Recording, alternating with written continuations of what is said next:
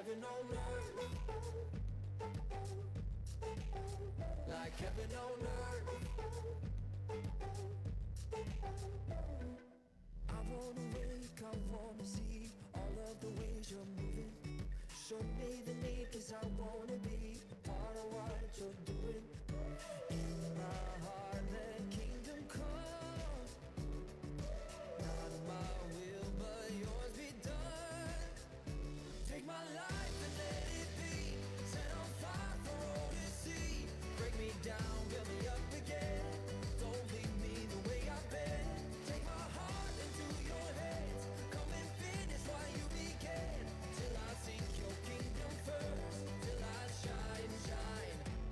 heaven on earth.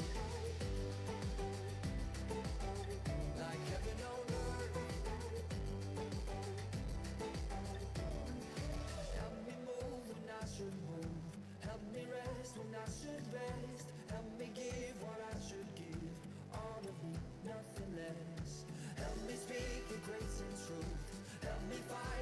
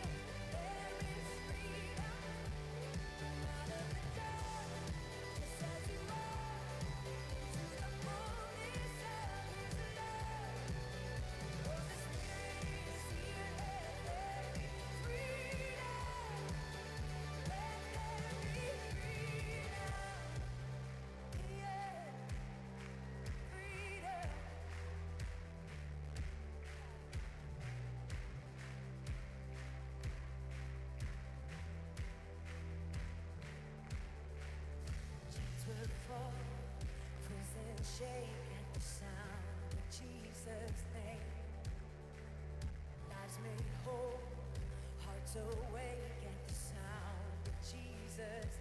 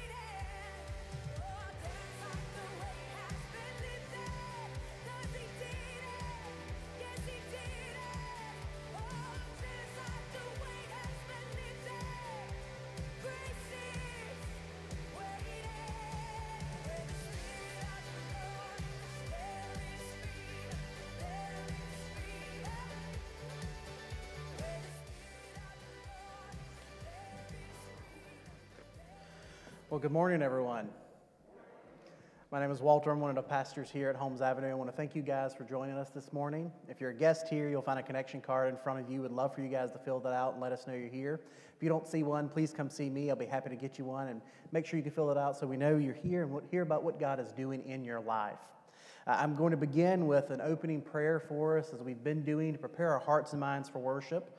We'll also pray for one of our sister congregations, Portside Baptist Church, and Pastor Hayden Jacobs today. As we're getting started, though, I want to draw our attention to a psalm that I was reading this morning that I think is relevant for us as we celebrate the ordinance of baptism today and celebrate just what God is doing in the midst of our world. It's Psalm 51, and I want to read a few verses. Verse 1 says, Have mercy on me, O God, according to your steadfast love. According to your abundant mercy, blot out my transgressions. Wash me thoroughly from iniquity and cleanse me from my sin. For I know my transgressions, and my sin is ever before me. Against you, you only have I sinned and done what is evil in your sight, so that you may be justified in your words and blameless in your judgment. The writer of Psalm, this psalm is talking about their sin and what they've done that would separate them from God, that leads them to a position needing mercy and forgiveness. They're broken, they're beaten, they're condemned, and they're desperate for something to heal them. And they write in verse 7 Purge me with hyssop, and I shall be clean. Wash me, and I shall be whiter than snow. Let me hear joy and gladness. Let the bones you have broken rejoice. Hide your face from my sins and blot out all my iniquities. Create in me a clean heart, O God, and renew a right spirit within me.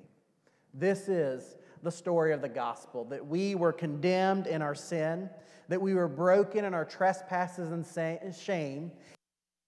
God, in His mercy, interjected Himself into our world, that He brought forgiveness to us if we would confess our sins, cry out to Him that we've fallen short of His standard, and that He would make us white as snow, that He would purge our sins from us and create within us a new spirit, a new heart, make us a new creation. This is what we're celebrating today as we celebrate not only gathering together as a body, but the celebration of baptism. That someone has crossed from death to life, and we rejoice in that.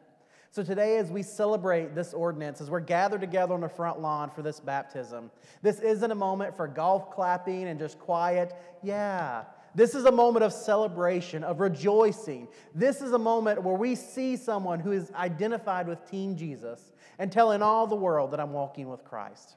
This is a day that requires shouting, singing, and dare I say it because we're Baptists, dancing. This is a day of celebration and praise. And so, as we sing these songs today, as we worship through the study of the scriptures, let us keep this at the forefront of our hearts and minds that we're celebrating and rejoicing because of the finished work of Jesus Christ. And so, if you would, I want us to go to the Lord in prayer today to prepare our hearts and minds for worship, to focus on this truth of the gospel. During this time, we'll have a few moments where silently pray individually to confess our sins before the Lord, and then I'll pray over us and pray for Portside in our gathering. So, if you would, would you go to the Lord with me? Bow your heads in prayer.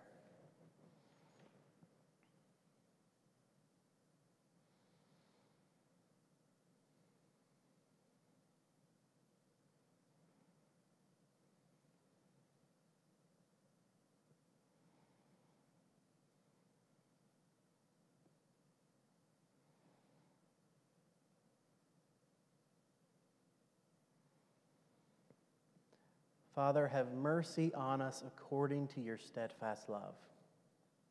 Lord, as we confess our sins before you, we recognize that we've fallen short of the standard of perfection that you've set. And Lord, we confess that to you willingly with a humble, contrite heart that we are broken, condemned sinners in need of a Savior. And Lord, today we pray that we could confess our sin to you and find forgiveness to find mercy at the foot of the cross from our Lord and Savior, Jesus Christ. So, Father, today would you purge us with hyssop? Would you make us clean, to make us white as snow? Would you purify us and give us new hearts, new minds? Let us be transformed by the renewing of our minds, daily saturating our lives with the gospel. Father, may we focus in on you today and celebrate this gift of new life that we have been given. May we sing clearly these songs of worship, celebrating all that you've done for us. May we study the scriptures so that we can conform our lives to the truth of the gospel found in the pages of these scriptures we'll read. Father, we pray these same things for Portside Baptist that they would rejoice in you, that they would celebrate your goodness today. I pray for Pastor Hayden as he is even now beginning to lead his people in worship and studying the scriptures and preaching through these passages. May you allow him to speak boldly the very word of God, to clearly articulate the gospel found in the text. May you let his people's hearts be open and receptive to the power of the gospel. And Father, would you bring redemption to be present among your people? Would you bring salvation today to those that are far from you? Father, let us rejoice in your presence and celebrate all that you've done for us. Let us come before you as eager children before our Father, celebrating and rejoicing that we have come home to our Father. Lord, would you bless us today with an outpouring of your Spirit to work in our hearts and minds to transform us into the people that you've called us to be? Lord, we thank you for all the things you've done for us. And we pray these things in the strong name of Jesus. Amen. Would you stand and worship with us? Our song of the month is a beautiful reminder that as we look to Jesus, as we reflect on who he is and what he has done for us, as we acknowledge who we are because of him, then the things of this earth will gr- truly grow dim. I hope this song encourages you and calls you to turn your eyes to Jesus, and that as you do, the things of this earth will grow dim in the light of his glory and grace.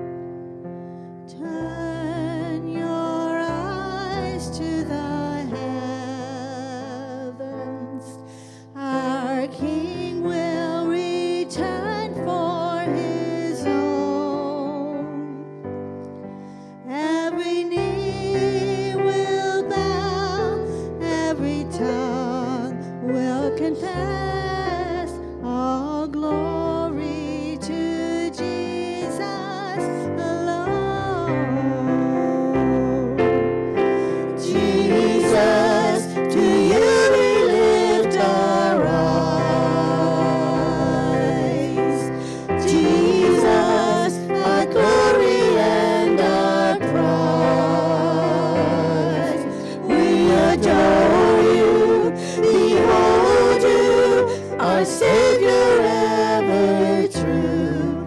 Oh, Jesus, we turn our eyes.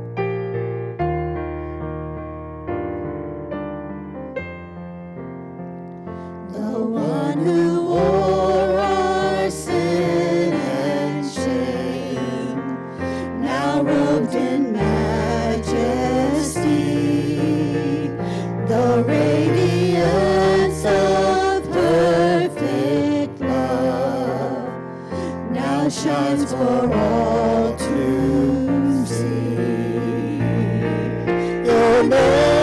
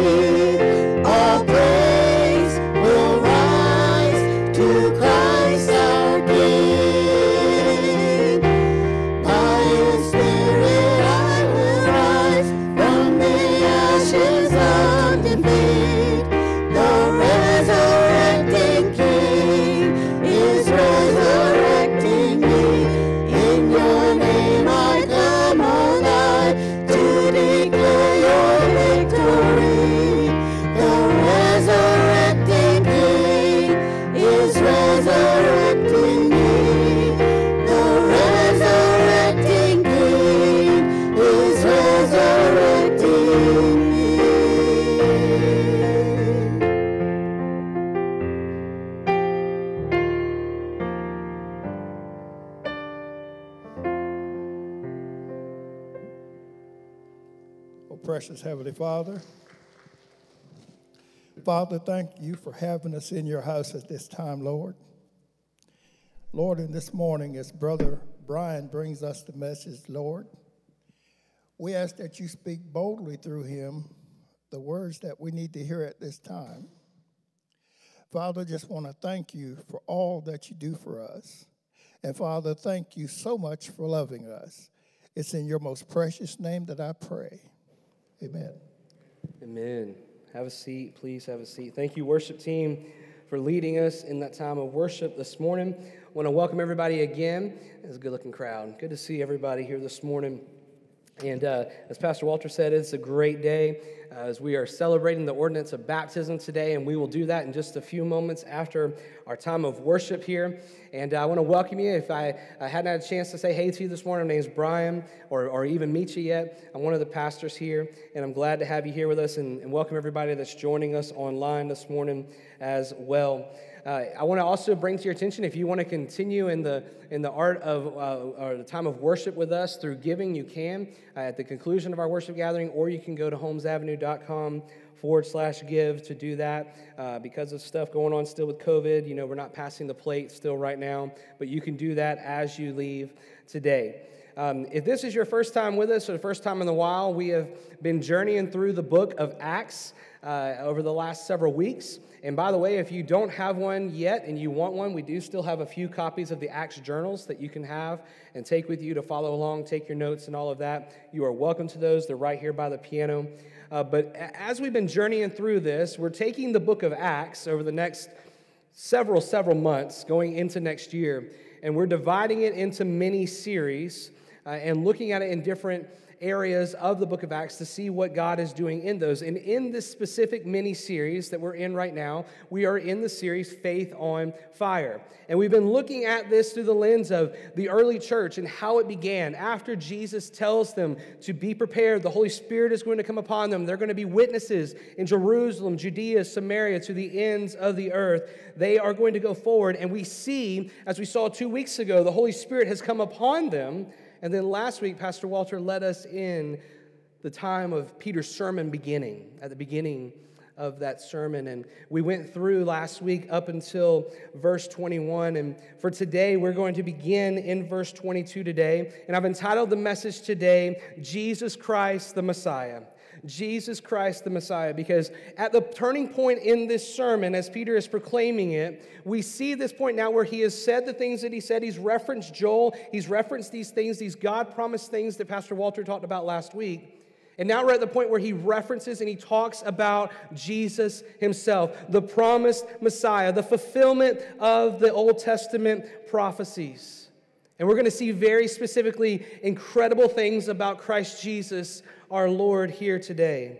And to do so, we first need to stand to honor the reading of God's word. So if you would, please open to Acts 2, starting in verse 22 with me. It'll be on the screen. Stand with me as we read the word of God. The word of the Lord says, Men of Israel, hear these words. Jesus of Nazareth, a man attested to you by God with mighty works and wonders and signs that God did through him in your midst, as you yourselves know. This Jesus, delivered up according to the definite plan and foreknowledge of God, you crucified and killed by the hands of lawless men. God raised him up, loosing the pains of death because it was not possible for him to be held by it. For David says concerning him, I saw the Lord always before me for he is at my right hand, that I may not be shaken. Therefore, my heart was glad, and my tongue rejoiced. My flesh also will dwell in hope. For you will not abandon my soul to Hades, or let your Holy One see corruption. You have made known to me the paths of life. You will make me full of gladness with your presence. Brothers, I say to you with confidence about the patriarch David, that he both died and was buried, and his tomb is with us to this day.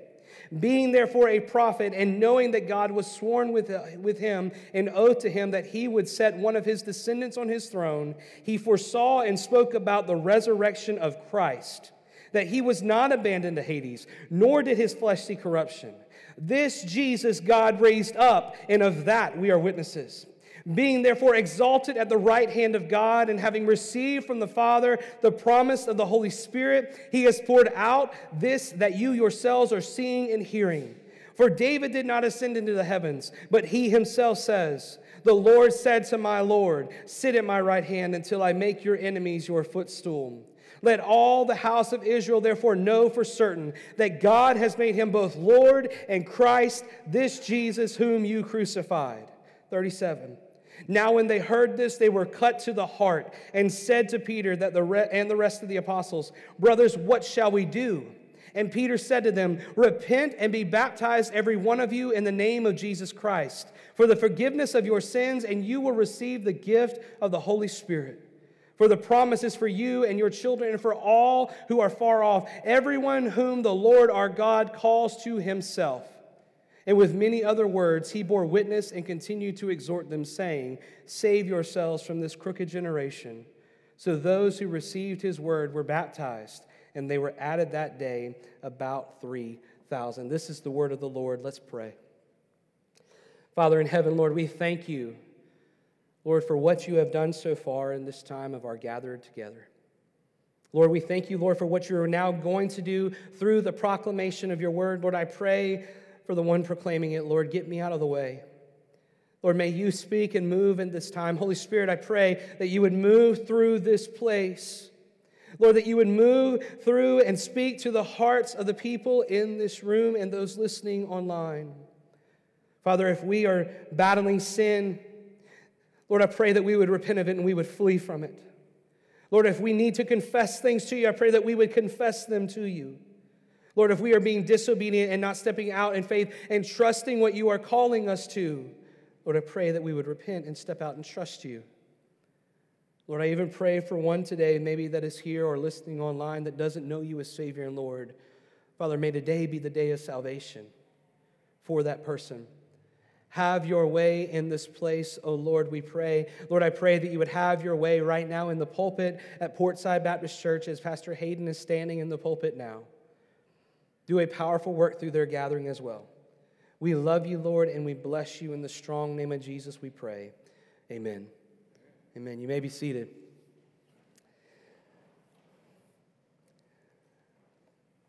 For this passage today, we are going to see a very specific message about Jesus Christ our Lord. We are going to see that He is the risen Messiah. We are going to see that He is the fulfillment of the Scriptures. He has proven that He is Lord and He offers salvation to any who would repent and believe. So I want to encourage you if you're taking notes, I hope you are. If you want to jot this down, the first note that you can put is that Jesus Christ is the risen Messiah. Jesus Christ is the risen Messiah. Again, verse 22 reads Men of Israel, hear these words Jesus of Nazareth, a man attested to you by God with mighty works and wonders and signs that God did through him in your midst, as you yourselves know. I'm going to stop there as Peter's going to continue his thought next in 23. But as we continue to look at the sermon, we see that Peter first says, Men of Israel, hear these words. He's making sure that he draws them to the attention. Pay attention to what I'm about to say to you. This is very important, the words that are coming out of my mouth. Hear these words. In church, I would encourage you with this, not because it's Bryan, but I would encourage you because I believe, just as Pastor Walter said last week, Isaiah 55, the word of the Lord does not return void. So, brothers and sisters, hear these words of which are going to be said today that have already been read to you. Hear these words. We know from what we saw last week, specifically back in verse 16, that Peter has announced this age of fulfillment of Christ. And now he begins to summarize this story of Christ Jesus our Lord. And he says, These mighty works and wonders and signs that God did through him.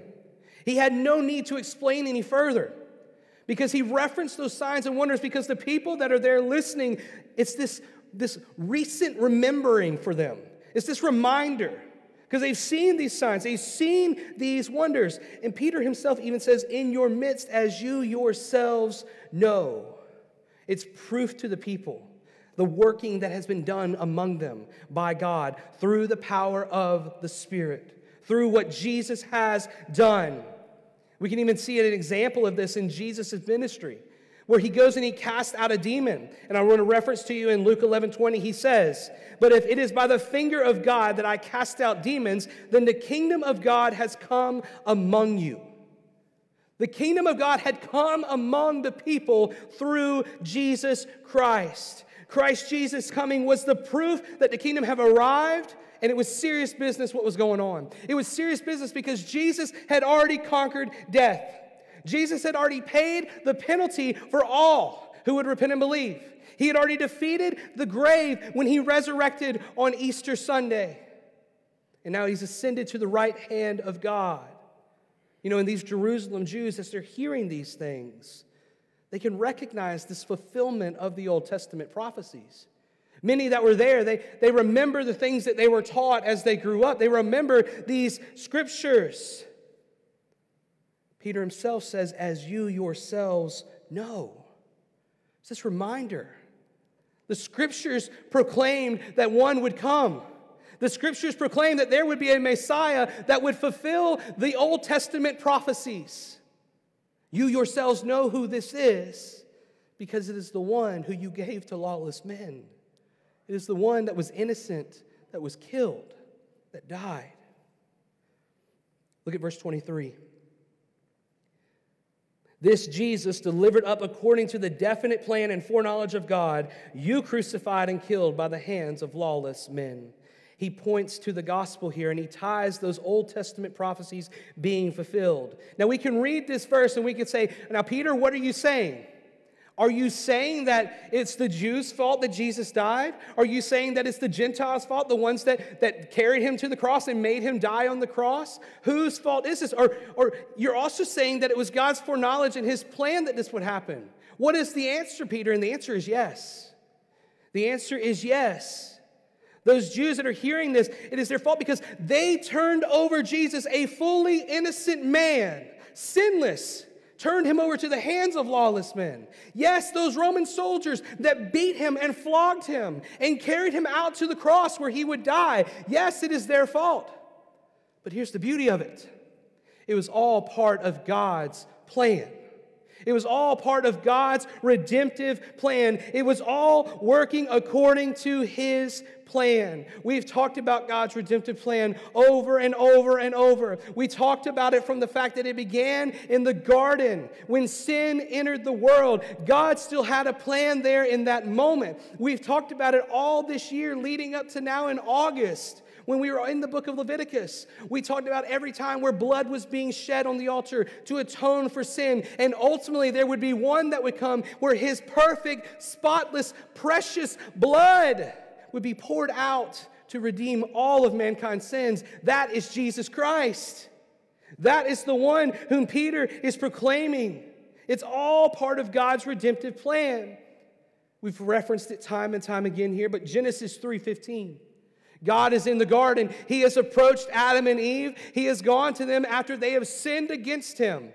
And there in the garden to Adam and Eve, and there with Satan in the form of the serpent, he says these words I will put enmity between you and the woman, and between your offspring and her offspring. He shall bruise your head, and you shall bruise his heel. The proto evangelium, the first good news of the gospels mentioned in the Bible. It is the proof text to say, I have a redemptive plan. This does not surprise me. It does not catch me off guard that this has happened. Guess what? There is one that will come. It will come down the line. This one will crush your head, Satan. You will lose. I will put the enmity between you and the woman. I will make the way through my son. It ultimately goes down to Jesus and his finished work. Look at verse 24. God raised him up, loosing the pangs of death, because it was not possible for him to be held by it. Although Jesus Christ was sentenced to death, an innocent man killed by the hands of lawless men, that earthly decision, that, that earthly court, if you will, saying, Hey, you are sinless, you're still going to the cross. We don't want him. Crucify him. We'll take Barabbas. Just do it. Make it happen. Even though that happened, it could not keep him in the grave. It could not keep him in the grave. He was not, it was not possible for him to be held by it. God raised him up. God loosened the pangs of death because it was not possible for Jesus to be held by it. The proto evangelium is fulfilled.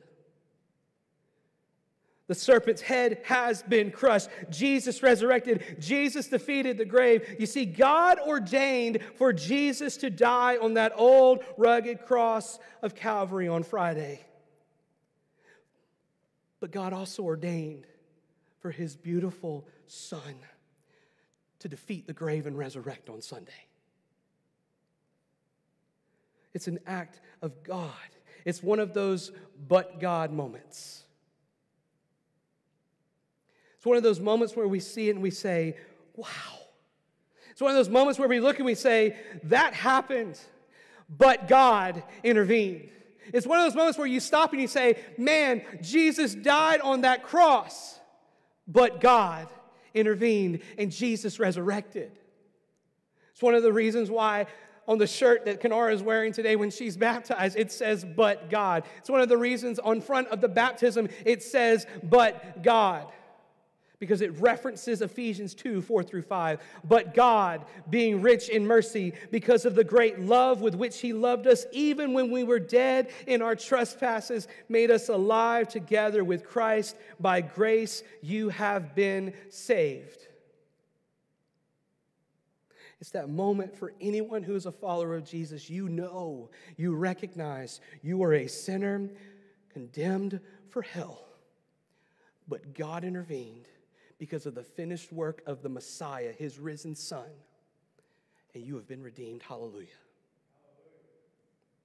Jesus Christ is the risen Messiah. Secondly, Jesus Christ is the fulfillment of the scriptures.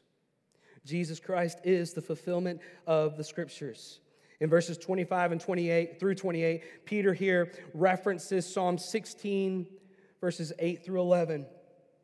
And according to Peter, much like he did in reference to Joel, the Joel text that we read last week, Peter did not just say that this is some cool coincidence or anything like that. He's pointing to the scriptures to make sure everybody understands this is the fulfillment of God's word, what happened to Jesus.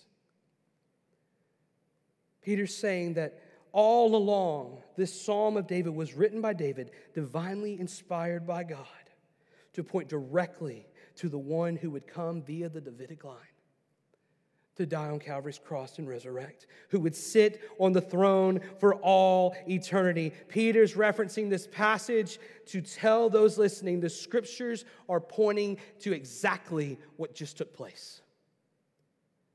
Within the last several weeks, these things have happened. Jesus died, but Jesus resurrected, and it was all pointing to what God said would happen. Look at 25. For David said concerning him, I saw the Lord always before me, for he is at my right hand, that I may not be shaken. We look at this and we look to the Lord, not with eyes of the flesh, but of the mind, continually being renewed by it because of what God has done in us. He's transformed us. Remember Romans 12, 2, being transformed continually by the renewing of our mind, always having the Lord set before us, always wanting to pursue Him and, and be obedient to Him. The Lord has promised that He is with us always, and therefore we will not be shaken. This text alone points to the grace of God. 26. Therefore, my heart was glad and my tongue rejoiced. My flesh also will dwell in hope. Not asking for hands, but those of you who are followers of Jesus Christ. Do you have times in your life where you stop and you reflect on what God has done for you and you say, Man, my heart is glad? Man, my tongue wants to rejoice. My flesh will dwell in hope because of the promise of what we have through what Jesus has done. Look at 27. A powerful verse pointing to what I'm saying here about what Peter is referring to. For you will not abandon my soul to Hades or let your Holy One see corruption. This points to King Jesus. This points to the one who would come down that Davidic line, the one who would be a son of David, if you will, that would come down through the line, that will sit on the throne forever. Jesus even made it clear himself during his ministry that he was the fulfillment of the law, the fulfillment of the word. Matthew 5 17. Do not think that I have come to abolish the law or the prophets. I have come to fulfill them. Thanks be to God for that. 28. You have made known to me the paths of life. You will make me full of gladness in your presence. That it's going to continue in a few moments when we see in these next few verses, but Peter's going to refer back to 27. And he's going to point to the fact that David is talking about the risen Messiah, King Jesus. But the reason I just wanted to, to pinpoint here and focus is because we see again another text where Scripture is confirming Scripture. Peter is saying this happened, and uh, David, excuse me, I was about to say Paul, David proclaimed it. David prophesied about it years and years before this would happen. Here's proof Jesus Christ is the fulfillment of the scriptures. Number three, Jesus Christ is Lord and Messiah. Jesus Christ is Lord and Messiah. He's not just Savior, He is Lord. 29. Brothers, I may say to you with confidence about the patriarch David, that he both died and was buried, and his tomb is with us to this day. Peter says there, I say this with confidence. He is confident in it. Not just because it's something that he believes, but he also references the fact that David is dead. There is a tomb for David. He says there again in 29 with confidence about the patriarch David that he both died and he was buried, and his tomb is with us to this day. There's reference of it being in the south of the city. If you want to jot in your notes, you can put Nehemiah 3:16. You can put that for you to go and look at later. It's referenced there about David's tomb. Why did Peter need to say this? He was making a clear distinction of what David was saying there in 27. David was not talking about himself. David was talking about the Messiah that would come, that would die, that would resurrect. David, just like every other human being to ever live, had a death date. David, just like every single one of us, has a death date. The reality is that there is eternity. Where will we spend eternity? Will it be with Christ Jesus our Lord, the one who defeated sin and death and made the way for that to happen. Or separated from God for all eternity because we haven't placed our faith and trust in Him. Verse 30. Being therefore a prophet, and knowing that God had sworn with an oath to him that he would set one of his descendants on his throne. Let's stop there. What is this oath that was sworn to David? Why does Peter reference that? Why is that important? Well, in Psalm 132 11, scripture says, The Lord swore to David a sure oath from which he would not turn back. One of the sons of your body I will set on your throne. Before David dies, God makes an oath to him. And when God makes an oath, it's serious business. He made an oath to him that one of your descendants will sit on the throne. And it's not just a temporary throne, people, it's an eternal throne. It's where King Jesus sits and will sit for all days moving forward over and over and over again for all eternity. Permanently. 31. He foresaw and spoke about the resurrection of Christ, that he was not abandoned to Hades, nor did his flesh see corruption. David foresaw, and he spoke about it, he wrote about it. 32. This Jesus God raised up that all we excuse me, that we all are witnesses. See, we can read 32 and we can go over it very quickly. Okay, yeah, I get that, I understand that. But 32 is very important. 32 is a very important verse. You see, it's the resurrection that is the hinge of the gospel. If Jesus doesn't resurrect, he dies on the cross, and that's it. If Jesus doesn't go from the cross to the grave and then resurrect from the grave, we're lost. We're doomed. There has to be the resurrection. There has to be a resurrection. Because Jesus is just another guy that just dies on the cross there is no resurrection. But he's fully God, he's fully man. And he defeats sin and death and he gets up on the third day. Peter makes sure to point out to the crowd that they are witnesses of this. This is critical, church. No other God, little g, has anybody that can proclaim or have anything written in their word that they've resurrected and they've had witnesses of it. Jesus Christ resurrected, and there were people there to witness it. After Jesus resurrects, after some time, he comes to them and he spends time with them before he ascends before them. They were there and watched him ascend to heaven. They were witnesses of what had happened. It wasn't just a story that could just be told like a bedtime story. No, it's the truth, it's reality. It's life giving. 33.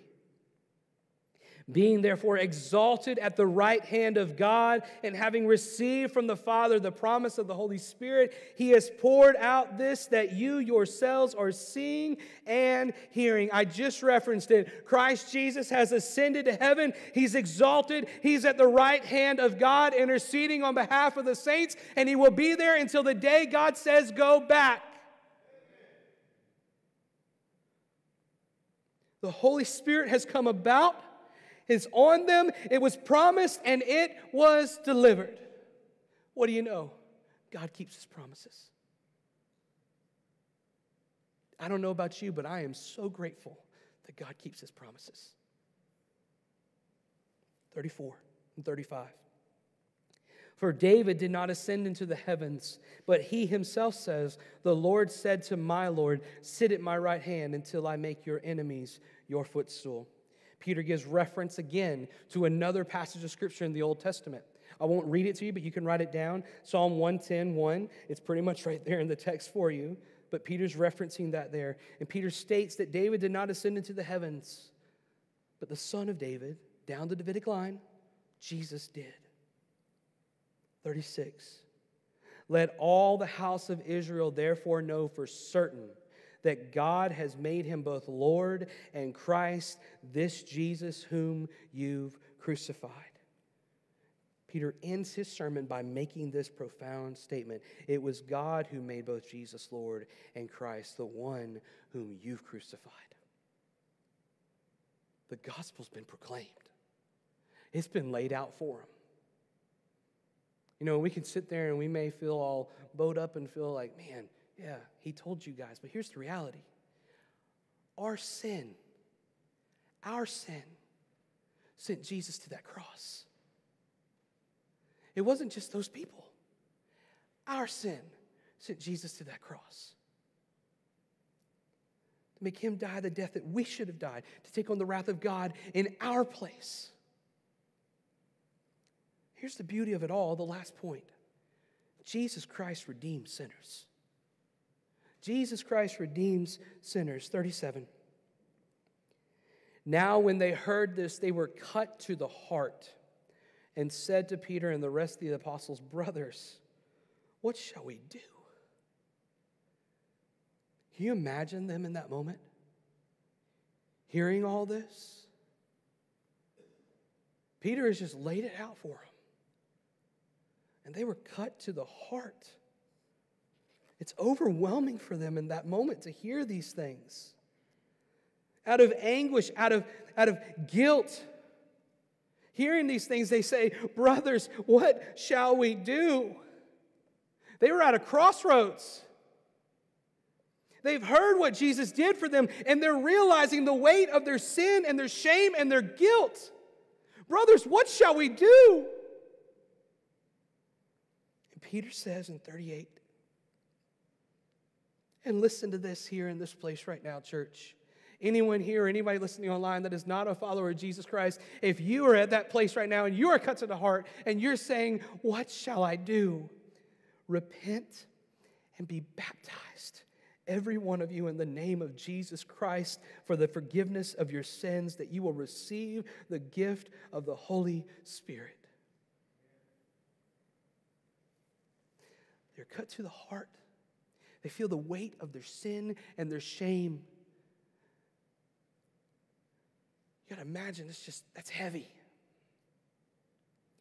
But Peter throws the life preserver out. He says, Guess what? You can be redeemed. You can be redeemed. Repent. He informs them of the need to repent of their sins and be baptized in the name of Jesus Christ, as He is the one who forgives sins.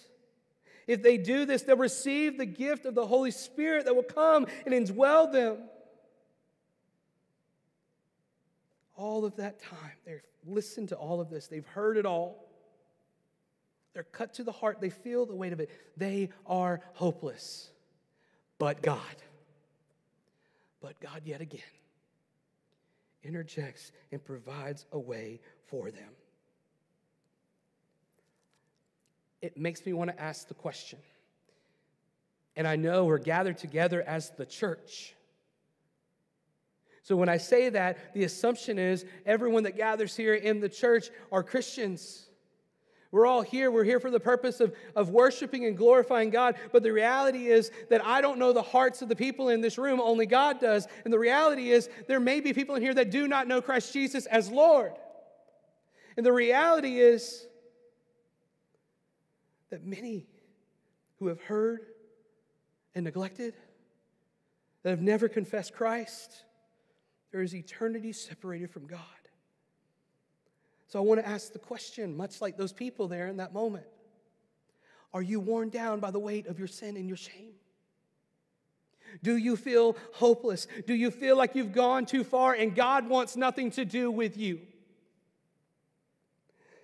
If that's you, the beauty of the gospel is that the Lord's grace and mercy is new every single day, and it's available to any who would repent and believe.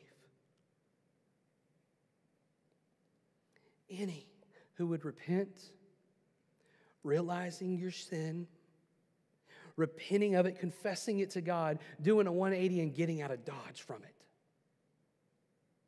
repenting and believing. And let me just make this clear.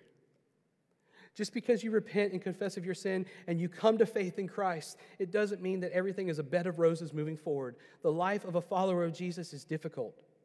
Matter of fact, suffering is promised.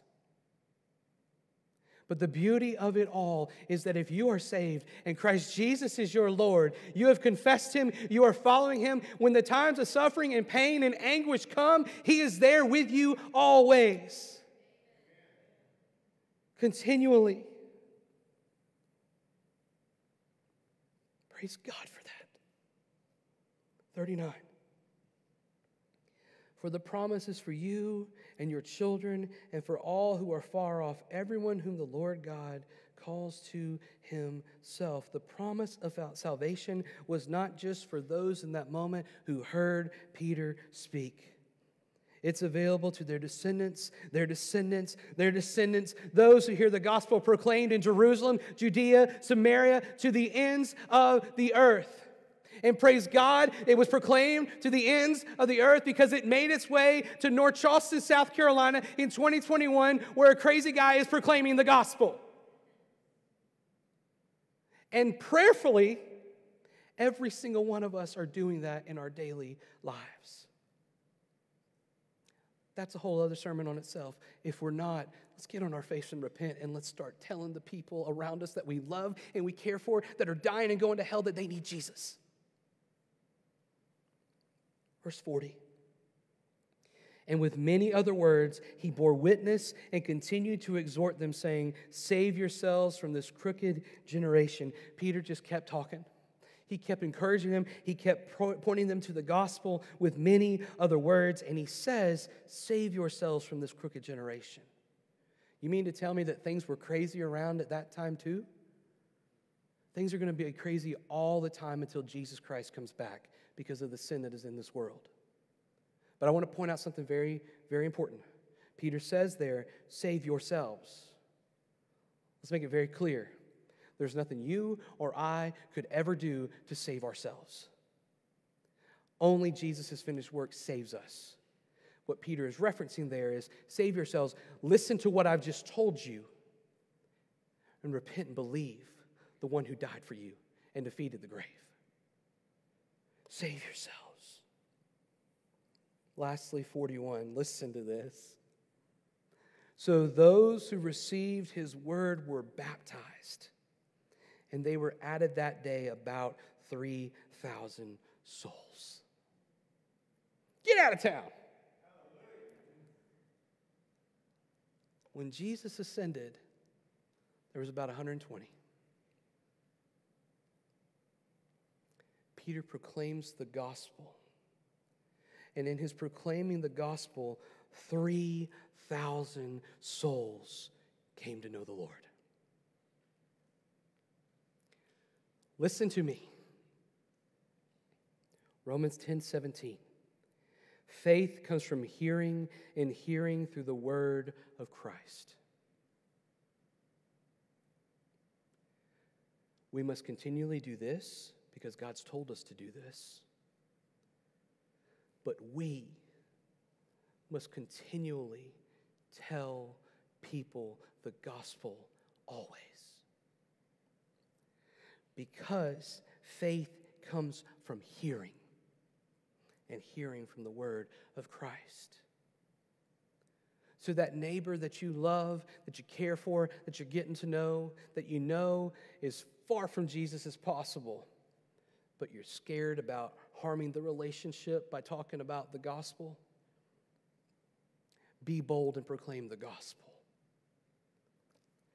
That family member that is lost, and desperately needs to hear the gospel, proclaim the gospel.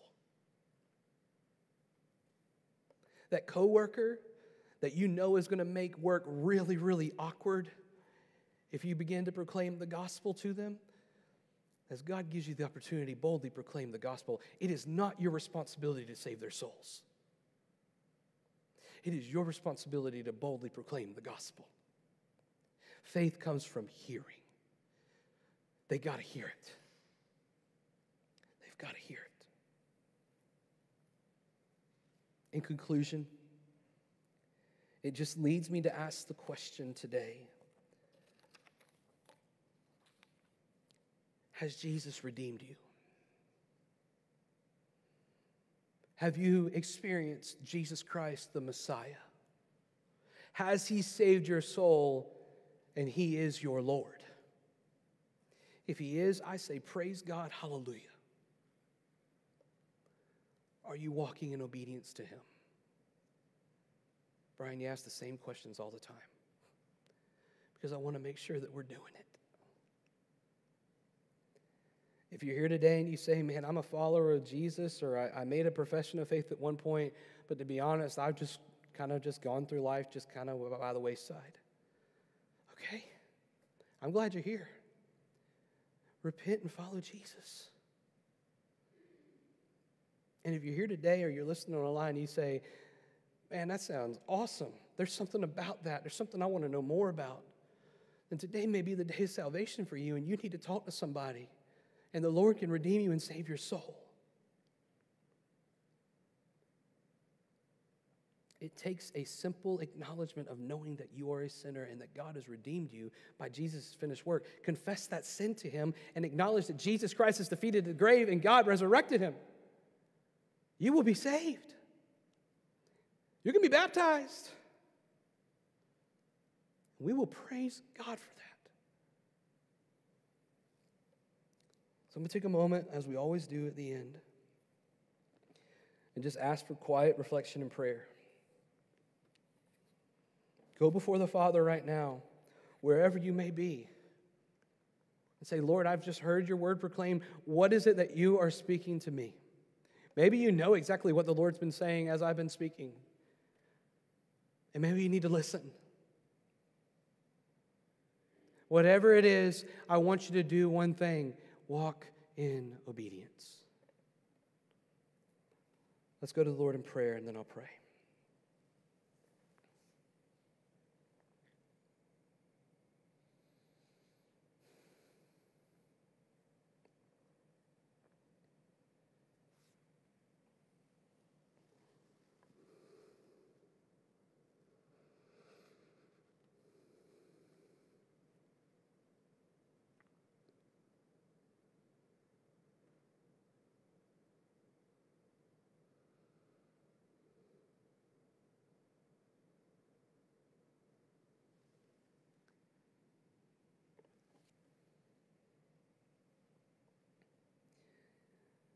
Father in heaven, we glorify you.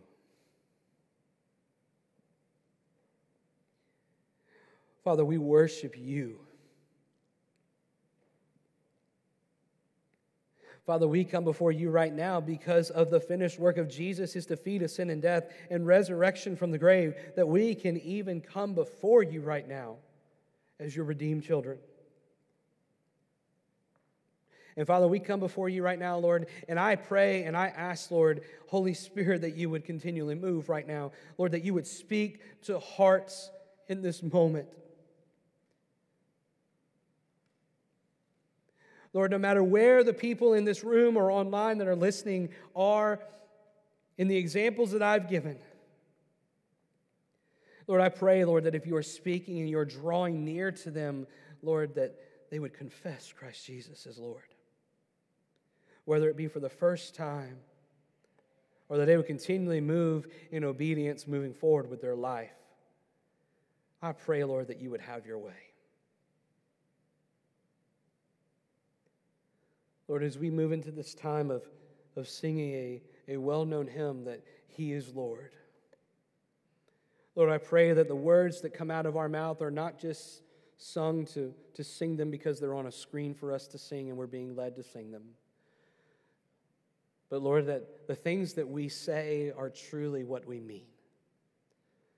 That yes, Lord, you are our Messiah. You are the one that has saved us. But you are our Lord.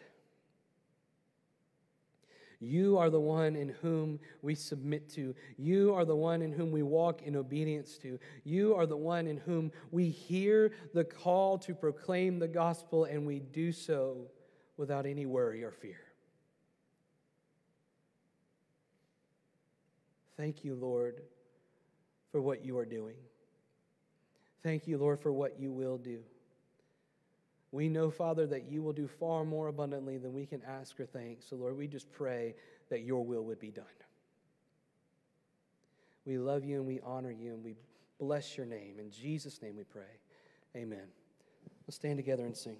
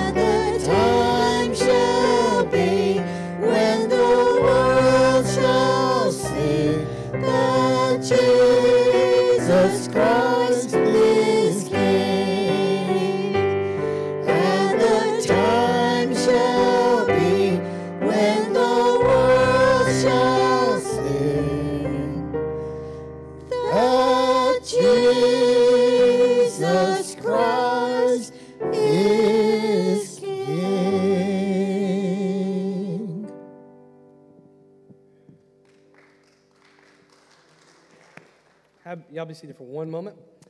Uh. Kanara, you come up here, please. Thomas, you want to come up here with?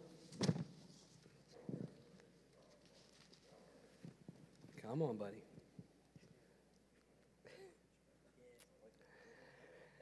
All right, guys.